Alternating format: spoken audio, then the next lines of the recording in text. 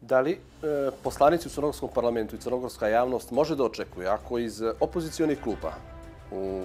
ovom trenutku znamo da je to DPS, e, dobijete neki predlog zakona, amandman ili nešto slično tome, da ćete, ako e, procijenite da je dobar, da ćete ga prihvatiti. Do sad praksa uglavnom nije bila takva. Sve što ste vi iz opozicije e, govorili, bilo dobro ili manje dobro, uglavnom je to odbijano. Hoće li se ta praksa u cilju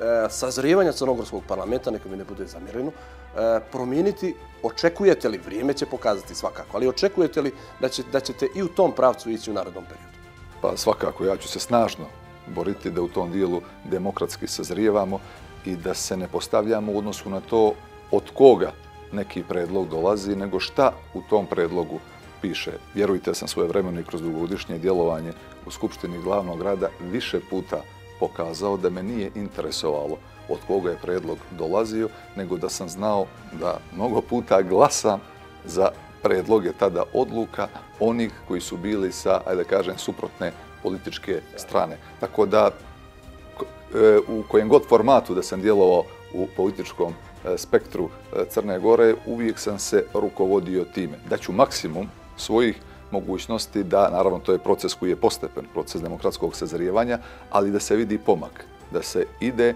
naprijed i da zaista omogućimo opoziciji da koristi sve ono što su je pozitivni propisi dali, jer taj kontrolni mehanizam je veoma bitan e, za svako društvo i veoma je bitan za svaku vlast i kao takvu opoziciju treba i doživljavati.